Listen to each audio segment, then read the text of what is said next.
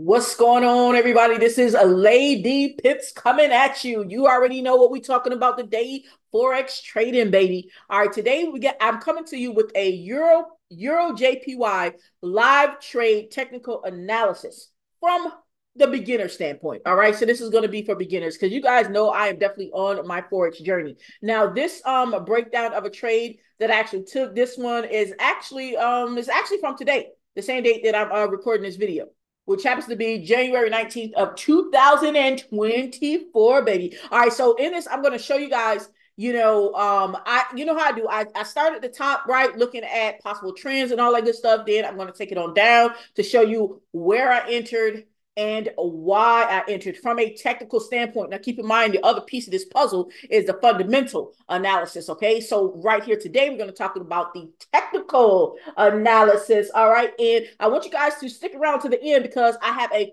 cool, cool bonus just for you at the end for sticking around. All right. Now, if this is your first time on the channel, welcome. Go ahead and subscribe to the channel. Hit the subscribe button, baby. And you already know, go ahead and ring that bell, baby, so you could be alerted the next time I come up with some content because I'm bringing it to you guys every single week. All right, so let's go ahead and jump on these charts, baby. All right, I got you here on my screen for Euro JPY. All right, now this is the M15, and this is where I actually entered, but let's go ahead and start at the top so that way I kind of give you an idea, give, give you guys an idea of why I was looking to buy this particular pair. All right. So one of the things I do is I like to start the higher time frame. So I'll go over to the daily.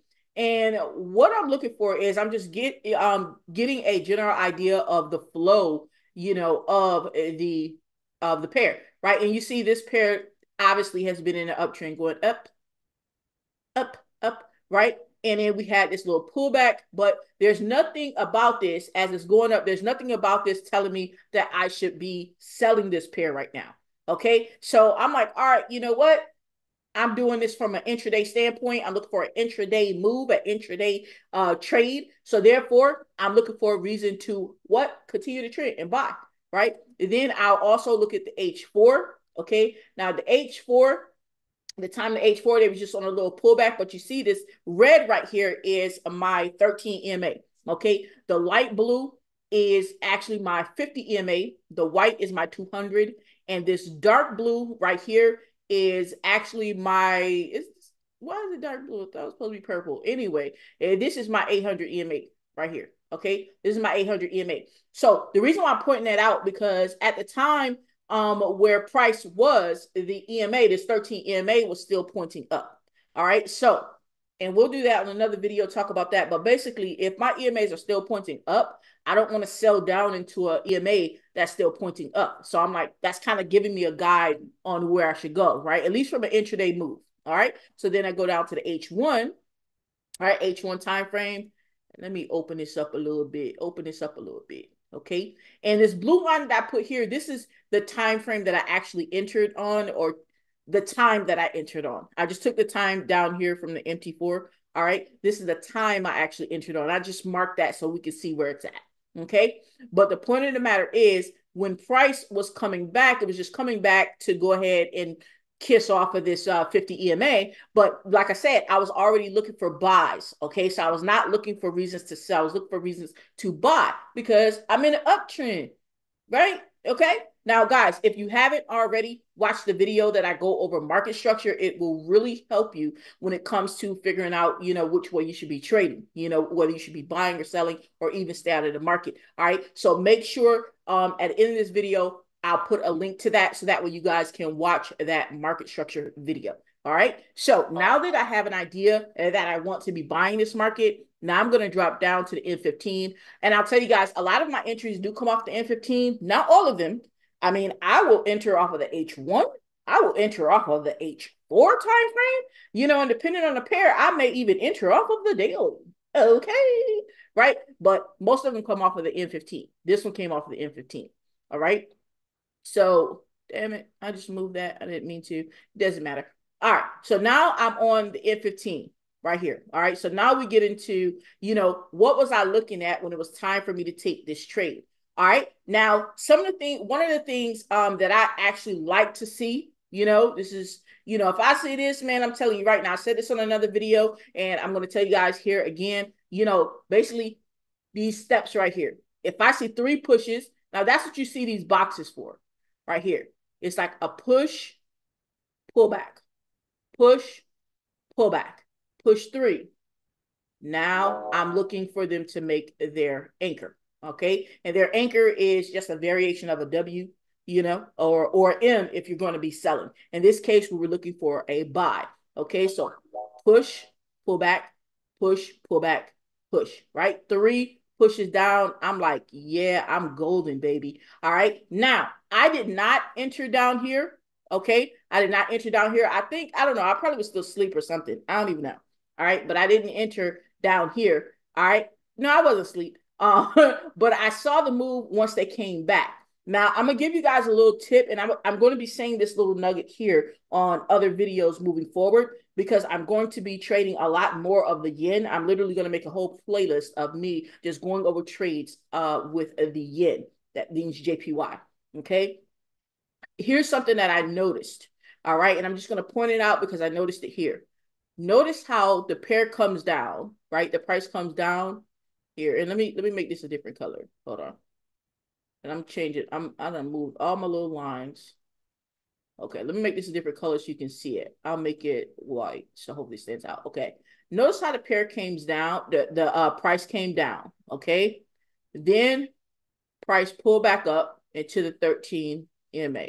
All right. Then it didn't actually close above and back below, right? It just kind of kissed it a little bit. Then it came down, make a lower leg, right? Follow me now. Follow me now.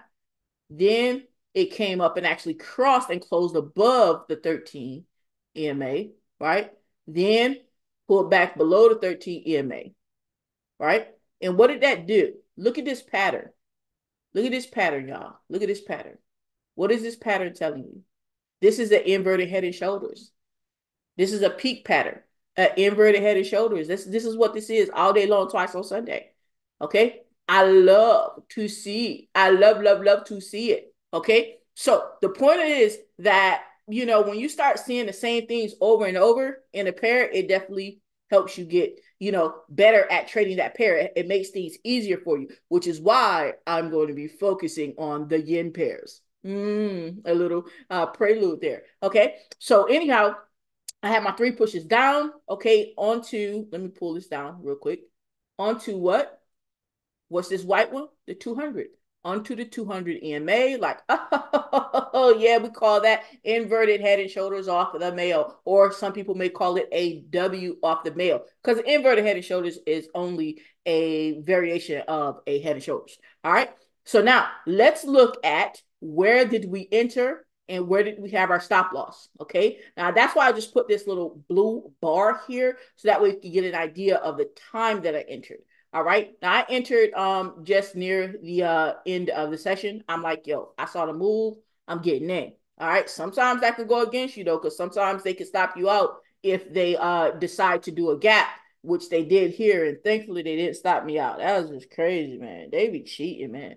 Anyway, all right, when I saw the shoulder, they started to pull off, and I entered right here where you see this white line. Okay, that's why I got this white line here. I entered on this white line. All right, this white line right here. All right, that was my entry because I saw the pattern. Now, what pattern did I see over here? Let's talk about it. All right, because I do look for candlestick patterns. Okay, 100%. I look for candlestick patterns. I actually have, um, you know, a good bonus for you guys at the end to help you guys with your candlestick patterns. But what candlestick pattern did I see over here? What's that? Hold on. Let me move it over. What's that? What's that? What's that? What's that? A morning star. Morning star. It's a morning star, guys. All right. So I entered right after that morning star. Boom. I'm in there. Then I put my stop loss. I put my stop loss. Okay. I use market structure for my stop loss. All right. Now, sometimes I will use like a engulfing candle or order block or something like that. Sometimes I'll do that. Sometimes I'll use a tracer, like a yesterday's high, yesterday's low. You know, um, sometimes I'll use the zero zero figures, which are the bank numbers, the zero zero fifty to 25. All right. But in this case, uh, market structure was what I used right here. So I put my stop loss right below this last swing point. which was this morning star. All right. So from that point, I'm like, all right, boom. Where's my TP? Where do I want to take this thing to? Now, I already know that I'm looking for a one to two risk reward. All right. I look for a one to two risk reward because everything that I'm testing out, you know, relies on me being able to, at minimum, be able to get a one to two risk to reward. And guys, I'll be doing another video showcasing how you can actually be profitable even if you only win 40% of your trades. Like you ain't got to win all your trades. You know, like you could lose most of them and be profitable. That's another video. The point is, right, I'm looking for a one to two risk reward. So it's like, okay, I go ahead and measure this out. And I think this was like what 25 pips, like a 25 pip stop. So I'm looking for a 50 pip TP. All right. So this purple line here represents where I actually TP'd at, you know, which was like 54, 55 pips. But 50 pips would have been suffice, right? The 55 pips, hey, that's wonderful, right? So my point is I got my one to two. Now, why was I not, and this is something I want to point out, why was I not trying to take this further in this particular case? All right, let me show you. Let me show you. Here on the H1, okay, I'm to move this horizontal line for a minute. You see this green line? That is my monthly tracer, okay? Here's the thing as far as price, they are eh, these these tracers act as magnets, right? And rejection points, right? Like price will be drawn to it, like how they're drawn to EMAs, and then they'll bounce off of it, right? So I wasn't trying to take this thing past this monthly tracer, right? So I just put this green line here because for whatever reason, my monthly tracer doesn't show up on my M15. I don't know. Maybe I got a raggedy template. I don't know. But that's why I got that green line there, okay? To let me know, hey, you don't want to try and go past that. All right, so I'm like, you know what? I'm gonna go for the one to two. And as you guys can see here, the green, when it highlights green down here in the MT4, that lets you know that you hit TP versus closing it out, which is not a problem, you know, if that's what you need to do. But in this case, it hit uh TP. I had two entries. I was like, yo, let me let me go ahead and get that. Let me get that, baby. Let me get that. So I hit a quick one to two on this trade. And so you see, it's not even complicated on the things that I'm looking for, guys. It's not even complicated. What direction am I going in? Okay, that was one. What direction should I be trading in? Excuse me, right? Do I have some space, you know, to get in that to that trade to make it to the next zone to at least get my one to two, right? Then I'm looking for do I see on the M15 and sometimes the M5, but most cases the M15, do I see three pushes, right? That's dealing with market structure and level counts. And we're gonna, you know, go over this on other videos, a whole bunch of other videos. We're gonna be doing level counts over and over because level counts is nothing but market structure. All right. But it's one pushy, pushy, two pushy, pushy, three pushy, pushy, trap. Let's go. Boop, pull back. Right?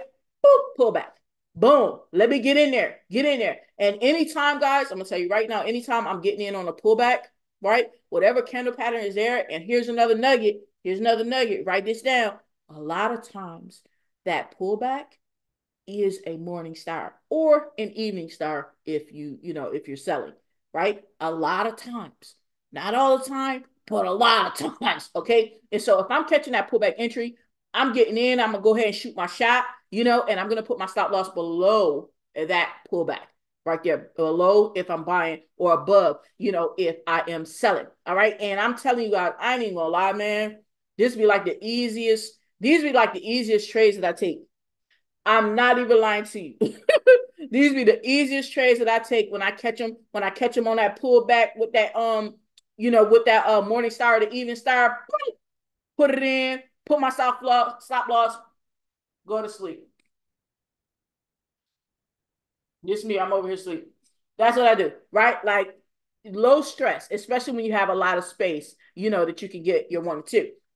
So, guys, hopefully this has been helpful for you and showed you some things that you can start looking for on your charts. And guys, like I told you, I had a bonus for you. All right. I've put together, all right, I've put together some cool uh flashcards just for you. Right, bringing you back to me. All right. It shows uh I talk about divergence uh, both regular and hidden divergence and exaggerated divergence. I talk about the different candlestick patterns that you can use for entries. All right. And I show you guys some flashcards of all these things. So that way you can see exactly what it looks like. Because all these things are going to be um, topics that I'm going to be covering on my channel more in depth as well. But these are things that I use on all of these trades as I'm learning. And guys, I'm learning in such a way that I want trading to be easy. Okay. Like, I don't feel that it has to be hard. Okay. You know, as a matter of fact, you know, in our university at LCA University, we're taught that trading does not have to be hard. Trading can be easy. Okay, so the things I'm sharing with you guys are from a easy standpoint. You don't have to be a wizard to understand how to trade these forex markets. All right, so down in the comments, all right, let me know what's one takeaway that you have found from this video on this uh, tutorial of Euro JPY, you know, this analysis. Let me know something you can take away. And the first link in the description will be the link that you could go ahead and get those free, 100% free uh, flashcards that I put together for you guys and the cheat sheets. Okay. First link in the description at ladypips.com. You can get the free cheat sheets as well. I've done the work, man. Go ahead and leverage me. I've done the work for you. So you ain't got to do all that work. Just go ahead and tap in. And guys, don't forget to subscribe to the channel, ring the bell, baby. And if you are in a position where you're like, you know what? I got a lot of this stuff down. I just need a specific strategy that I can follow that has a high hit rate that, hey, I can just, you know, practice this thing and then go take it off. If that's what you need, you just need your strategy. Second link in the description, I'll show you the strategy that I use uh, the absolute most. Okay, the absolute most. All right. Second link in the description, you can grab that and you can even start trading with me. Let's go. Because we're gonna run up this bag, baby. All right. And what we're gonna do, guys, you already know at the end of the day, baby, this lady pips, and we're gonna do what we're gonna take this right to the top. All right, y'all. And we yeah.